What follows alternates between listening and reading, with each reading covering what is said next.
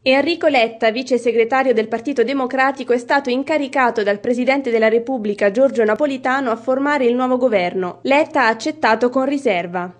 Il governatore della regione Marche, Gianmario Spacca, rientrato da Roma dopo l'elezione del Presidente della Repubblica in quanto grande elettore, si è congratulato con il neo Presidente del Consiglio incaricato Enrico Letta. Una scelta lungimirante di grande responsabilità, ha detto Spacca, capace di interpretare la complessità del cambiamento in essere nel nostro Paese.